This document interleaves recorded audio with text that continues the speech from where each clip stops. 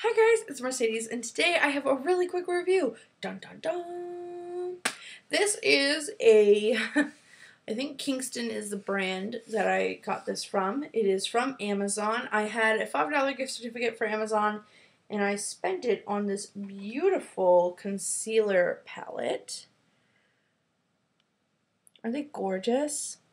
Um, you have a really wide range. Oh, there's a little hair in here. Ooh, from a makeup brush. Okay. You have a really wide range of concealer colors here, here, so you can use them, you know, you have contours, you have highlights, you have your green to offset your red. You've got a really nice glitter up here, which I think works really well. I used it as a glitter base and it worked really well. And then down here you have a pink that helps offset like the blue under your eyes. If you guys want to see a demo of this product, I will go ahead and do one. Just leave a comment, say, hey, we want to see a demo. So, of how I use it. Um, the shades in here aren't bad. This is the yellow shade. This is good for brightening, of course. Um, the green shade, really creamy. They're super creamy and almost wet if you leave them on a hot surface. Um, what I like to do is while I'm putting on primer and doing my eye makeup, I leave it on my computer. And it warms it up so that they're extra creamy. They are pretty good even when they're like not um, even when they're not warm, they're still good product. Um, they still are blendable, it's still workable. Um, I have been using this green to cover up a really bad spot I have. You can't even see it right now. If I point it out to you, right here, you can see it. But now I touch it because, oh, now I want to touch it. Anyway, um, it concealed it really well. Like you can barely tell it's there. And I used the green with a little bit of the this one over of this concealer shade on top. The packaging is cheap. It's plastic, and this is actually like a a cardboard kind of, kind of gross. but it's it's five dollars. You know, I spent on Amazon, and it was technically free because I had a gift card. Um, but they're really just this is how they show up on the skin.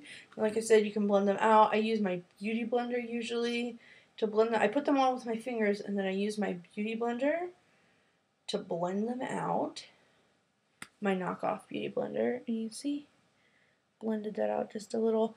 Um, there's no glitter in any of the shades except for that glitter base that I showed you. Um, up here in the corner, but these aren't as good as like my cream concealer by e.l.f. My HD lifting concealer. And I actually have heard that they make a lavender and a green shade too that I really would like to try um, and compare to these.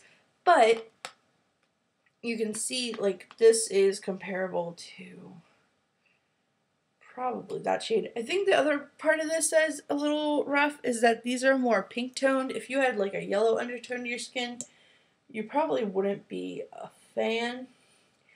And in order to get a lot of coverage for these, you have to build it up and then it kind of gets a little thick and cakey and I know a lot of people are not a fan of the thick and cakey look, but it also is a pretty realistic, like it's not too bad either. So yeah, I put a little bit of those concealer colors on the back of my hand in comparison to the e.l.f. concealer and that e.l.f. concealer is really dark. I didn't notice that before, but you can see the e.l.f. one like really concealed that green on the back of my hand, whereas that pink, like the more pink one, is still a little see-through and it's not bad. Um, these really work well if you set them, especially I've been setting them with my coverall by Wet n Wild, and that's been working to set them. Um, these I set with my bronzer.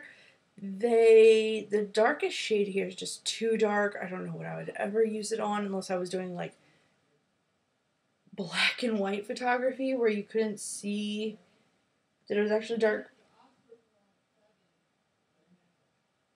But if I had a friend who was darker skin, she or even tan skin to use it as her contour, she might be able to use it. Um, these are a more orangey shade because they're supposed to be concealers instead of you know the, slate gray kind of brown shades that you want to use for contour but these could work for good like bronzing for the side of your face um, I did use it for that and it worked well so out of five the star range I give it is a three because I know that there is better stuff on the market um, and just you can't really give it anything higher. It's great, it's good, but it's not like the best. And so that's why I give it a solid 3. So thanks so much for watching. If you're interested in buying this, I will put the link down below like I do with all my really quick reviews. Uh, if you have any questions or comments, you can always leave them down below and I will answer them as soon as possible. Thanks for watching. I love you guys. Bye!